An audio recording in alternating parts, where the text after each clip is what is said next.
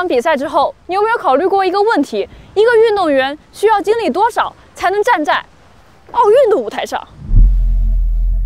张家豪，十七岁的时候，发现自己不可救药的爱上了滑雪。一开始，他跟着朋友一起玩，在技术逐渐成熟之后，参加比赛，然后用比赛获奖的奖金以及打零工攒的钱，自费出国专项训练。单板滑雪危险系数极高，张家豪的左右手脚都摔折过，两次肺部出血，嘴里缝过十针，多次脑震荡。而这一切后果都是他自己个人承担。最终，他从一个零基础的业余滑雪爱好者，油门一路轰到底，成为了国际雪联排名中国第三的单板滑雪选手，拿下了诸多国内外赛事的名次。二零二零年的九月一日，他做了一个决定：我的梦想是站在北京冬奥会的出发台上。等等，奥运会不都是国家队去参加的吗？一个人也可以参加奥运吗？来吧，聊。首先，我们要知道张家豪所参加的单板滑雪项目入围标准是什么。国际雪联要求，在2019年7月至2022年1月16号之间，国际雪联积分达到50分，排名在世界前30，并且世界杯分站赛或世锦赛杀入前30名。满足这样的积分和排名之后，才有可能参加冬奥会。最后要向国家提出申请，因为是代表中国出战嘛。既然国家队可以参加，个人也可以参加，为什么张家豪不直接加入国家队呢？我拒绝回答这个问题。我们只能从相关的报道中找到这个问题的答案。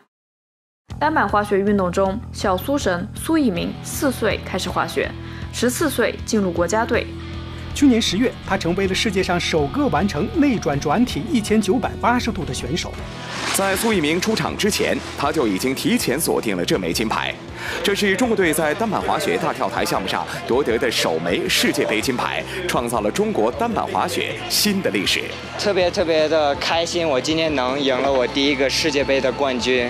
这个时候，苏翊鸣才十七岁，而同样是在这个年纪，张家豪刚刚开始接触滑雪。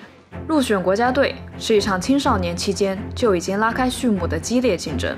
我国国家队的选拔制度，简单来说是一个金字塔型的三级训练网络。运动员在青少年时期逐步由区县的业余体校到省、直辖市的运动学校，最后到省级专业队，最优秀的人才能进入国家队。并且，运动员的身体年龄与巅峰状态关系紧密。我国奥运冠军成才的训练年限平均为十三点八五年，而不论男女，我国奥运冠军的年龄分布最高峰处于二十一至二十三岁。几岁了？今年十岁，十二、十三。也就是说，大部分的奥运冠军在十岁的时候就已经接受专业训练。张家豪面临的难题就是在选择之前就几乎失去了上岸的机会。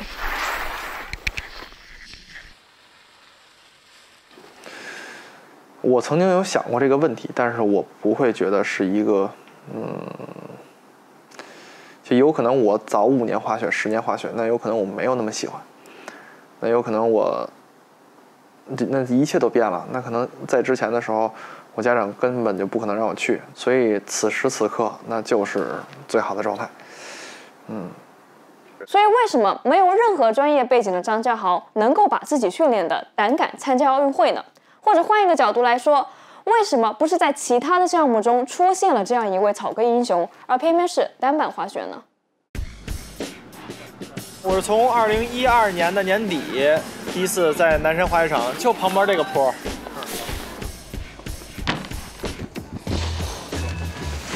当年就是玩的玩公园，尤其玩自由式的，包括单板、双板都一样的，都人不是很多，就所以我们就比较熟，都在一块玩。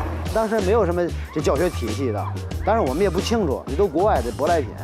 公园这人比较比较多，比较多就是相互切磋、相互玩。你摔一下吧，他给你指导指导，或者他给你说说，可能就好一些。实际上，哪怕在国外，单板滑雪也是一项很新的运动。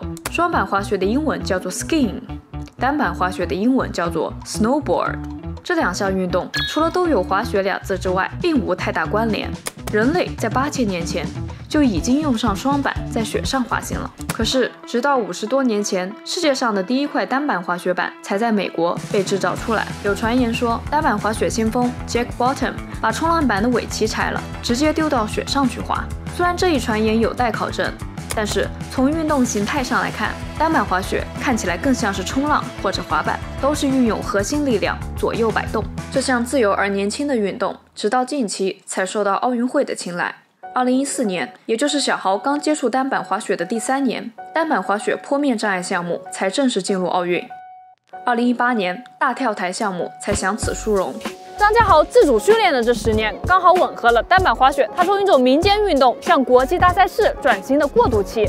这意味着这是一个很好的从民间向上输送人才的时期。我们把它称之为“天时”。因为这个奥运会从这个申办下来以后，尤其这几年，从一个认为滑雪是个贵族运动，变成一个大众普及、非常普及的运动。二零二二年冬季奥林匹克运动会的举办城市，北京，北京。二零一五年，北京成功申办了二零二二年的冬奥会。就在那一年，全国多了一百零八家滑雪场，七百多台造雪机。可是，想要在民间培养出职业滑雪选手，需要的不仅仅是这些。实际上，小豪，我们是这个雪场，我俩认识的。对，这个雪场，他非得跳台，不会刹车，直接飞跳台，下来叫一边以后，我说你得学习别的东西。这个雪上的事儿是由雪下决定的。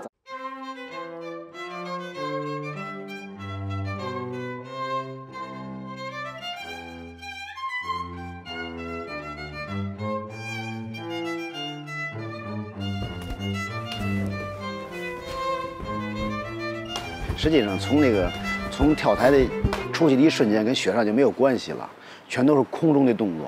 空中的动作是是根据来蹦床来形成那种运动习惯和运动轨迹的。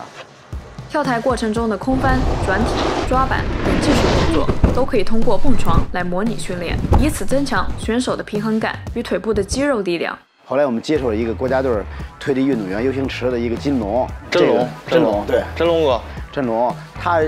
带着我和一个朋友去那个长春那个冬季中心，然后我们练了一个月，才知道有这个有这个通过蹦床来进行辅助训练的。你就在那个奥体中心，咱们那个有一个幼儿园的那个地方，这个小朋友跳的地方，我们就去。这是二百块钱一张卡，能跳十次是吧？十次还剩一次，十一次。对对对，十一次，十一次。后来因为这个改建，就是小朋友跳的蹦床那个地方就拆了，拆了对。然后张叔呢就。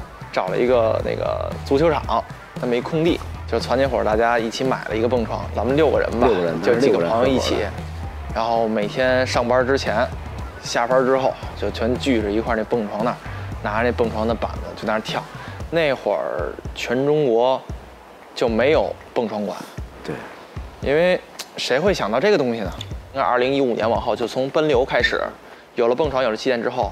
就那一年，咱们中国得诞生了十个红番。对，场地设备的不断完善，造就了张家豪自我训练的地利。最后是什么呢？当然是人和。我最开始滑的时候，没有所谓的基不基本功，也没什么，也什么都不知道。就正因为不知道，就去了。为了这份热爱，张家豪几近赌上了自己后来所有的青春。当然，去新西兰的原因也是因为夏天的时候。你要想练得更好，你对你的动作想提高难度，你夏天你肯定要也要继续练，你不可能只能在在待在冰箱里。我第一年去的时候是我第一次出国，一五年，我攒了一年的钱，啊，就是一个月挣三千五，攒了一年，最后加上年终奖一共有三万，去新西兰，然后提前买机票，提前买机卡，然后。跟朋友一起搭着住，当然我记得特清楚，我在超市里边买什么东西都买最便宜的，挑那盐也挑少少几块钱的。待了两个月，去之前先把膝盖掰伤了，到那之后刚好滑了不到一个月，呃滑了不到二十天，又把脚腕给弄伤了。其实给自己设定的那个计划根本就不恰当，就不靠谱。就完全没概念，就是想跳、想滑、想练，就是那属于是往前一直冲。大力出奇迹，张家豪的记忆在艰难与迂回之间不断被磨砺，而一个曾经从未浮现过的念头开始蠢蠢欲动。当时出现这个想法是在二零一六年的时候，我参加新西兰的一个洲际杯，也是第一次参加国际比赛。从那场比赛的时候，我获得了一个全中国最好成绩，然后也是跟世界一线的运动员一起比赛。从那会儿的时候，我在想，我说六年以后咱们的北京冬奥会有没有可能说尝试一下？要是真能参加，那我滑雪这事儿就算办漂亮了吧。今天我们要认识的是一位滑雪疯子。今年八月中旬，张家豪只身一人踏上了追梦之旅，飞赴南美洲和欧洲参加比赛。二十六岁的北京男孩张家豪拿到了国际滑雪联合会 FIS 系列积分赛智力站的冠军。为了奔赴奥运，张家豪飞遍全球，共参加了十五场比赛。荷兰的最终挑战，张家豪完美发挥。但遗憾的是，荷兰站高手云集，其他选手技高一筹，张家豪没有进入决赛。历经两年时间、数万公里，张家豪孤注一掷的一个人的冬奥征途，止步于荷兰。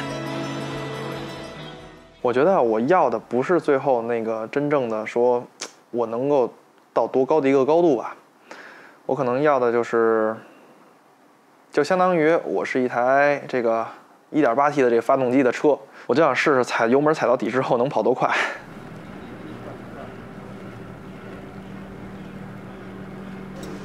尘埃落定，这辆车难道就要熄火了吗